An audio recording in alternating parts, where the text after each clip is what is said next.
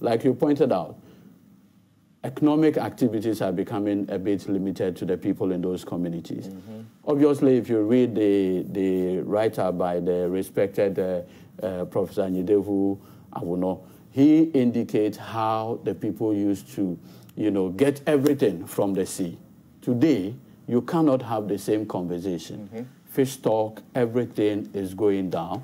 And so the tendency by the people to look out for other activities is high.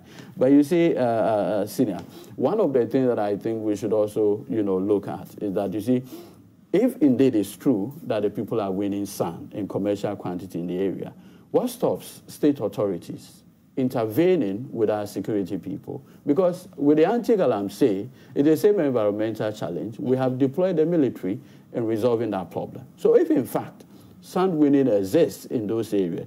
What has stopped us? I mean, if we can deploy military in voter registration, nothing stops us in getting the military involved, if indeed that's the state of affairs. Okay.